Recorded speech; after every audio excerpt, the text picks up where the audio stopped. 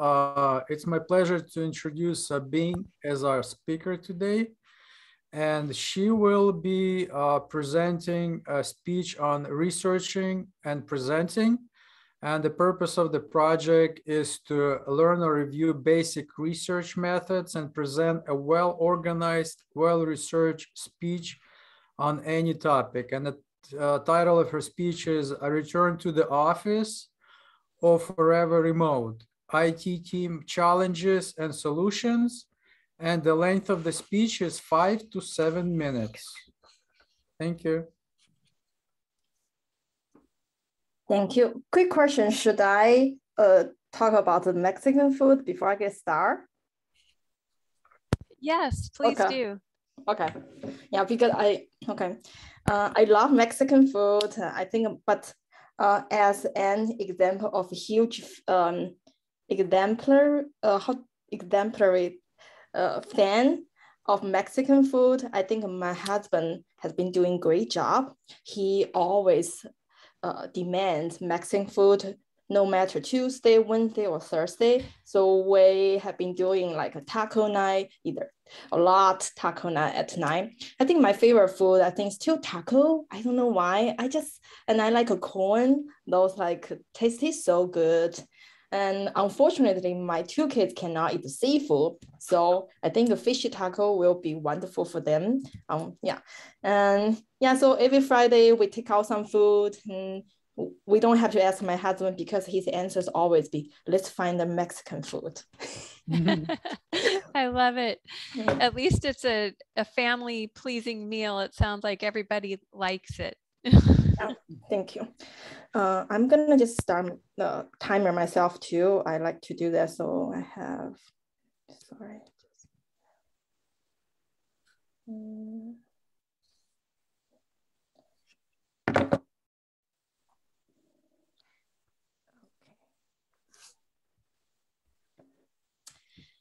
can share my screen.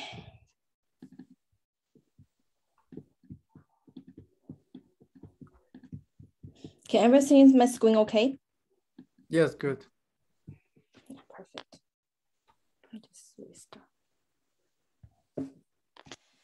Good afternoon, everyone. Thanks for coming today. I will be delivering my third speech research project when I try to decide what topic I should talk today, um, I thought I should choose something can be relevant to your life, my life, and my new work. So I could get some research done and talk about, and you love the idea, and also get some research for my work as well. Um, before I get started, let me ask some questions. So can you raise your hand if in the past 18 months, you sent a ticket to your IT team, either about your software or about your hardware. Let me take a look at your face. Yes, okay. Second question. In the past 18 months, so the reason I talk about 18 months because pandemic has been 18 months. In the past 18 months, any of you switch your department, change your title, or get promoted in your company? Can you raise your hand? Great, wow, I hope it's promotion. Last question, any of you uh, switch your job, you left your old company, you joined a new company, or you decided, yeah, I'm not gonna work, I'm gonna just enjoy my life, I quit. Okay, so I think, thank you for your participation. I saw over 80% of you raise your hand. So today I wanna share of want to share with you one of my personal story about how I interact with my IT, my experience, and then I can dive into the challenge I've been seeing in the IT team. So I left my previous company three months ago, but I was holding my previous company's laptop for over two months. I kept sending them email, my IT team and uh, my people team say, hey, you, you know, I'm still having my laptop. Uh, where can I drop, drop off? You know, everybody is working remotely nowadays and IT team, of course, the, the same thing. So they respond to me after a week and they say, oh, we sent your FedEx box and seems like get lost and we will send you another one. and waiting, waiting another two weeks. I finally received my FedEx box. And I was, the day I was so excited, okay, now I can drop off. I was driving my car to Lincoln, um, the uh, Rocklin, um, because there is a FedEx center. I was listening to the podcast in my car. My current CEO was interviewed with one of our customer, VP of IT, talk about what's the challenge um, there. So the IT, uh, the VP of IT have been talking about a lot, talked about how this has been very difficult time for IT team because a lot of rehiring coming, a lot um, resignation, people just quit their job. And then there's a lot of people change their locations. So add a lot ticket, add a lot workload for IT team. However, IT team, the number of IT team have not increased yet. So it's like three people's team has been doing like six people team's job. In terms of today, I would love just uh, talk about uh, what I've done for my research, what the top three challenges I've been seeing in the IT team, and what's the solution my current company uh, can provide. I want to connect the dots. Next page. Oh, sorry. Ugh. What's this? Challenge one, ensuring an equitable experience for all employees, regardless of locations.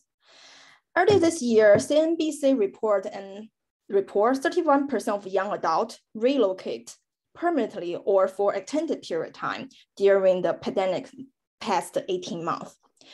And as you know, IT team has been steadily asked, okay, we need to create a world class experience for every single employee, no matter where they are, especially for new hiring. They are not no longer come to the office for the onboarding. So I think the solution here is how could we create the great experience for people on board or people off board or for people mid-life change, promotion, etc. So my company provides uh, kind of automation solution. You can automate all onboarding and offboarding process. Make sure your new employee gets right tool, right permission, right group, sign in the right Slack channel. You are not in the executive level, the group. Yeah, if you are not. So I think that's the something we can overcome the first challenge. And for the second challenge, minimize risk of shadow IT in hybrid work some of you might ask you or ask me what is the shadow IT? Actually, shadow IT is when you purchase any software without asking IT permission. So a report by Gartner recently told us worldwide public cloud user gonna the spending gonna grow 23% in 2021 so you will see a lot unsanctioned third-party application gonna happen in the it environment. So my company could provide some solution, give you, give IT admin like more visibility uh, into their IT environment, how many application in their space and uh, what are un unsanctioned, what are uh, sanctioned application, and they will get a lot ultimately. And challenge three, define the right balance between collaboration and the file security. I know all of you use Google Google Drive, you share your document all the time. And some research show average organization share document like over 800 external with with 800 external domain. That's a lot and a lot risk. If any document include any social security number, banking number, you should not share with external domain. So my company offered a uh, solution. We can do the file scanning and cap capture all the sensitive data and send alert to the user, sender, and the IT admin. Give them uh, notification. Here, there's a file, file you should not be, you should not share with external user. As I said, all in all, I think during those uncertainty time, automation will be the key for IT team. They can really increase their efficiency, reduce the risk, and also I think free up some free time, oh, sorry, free up some IT team's time so they can really focus on a strategic tasks to really be a true partner with the organization. Thank you.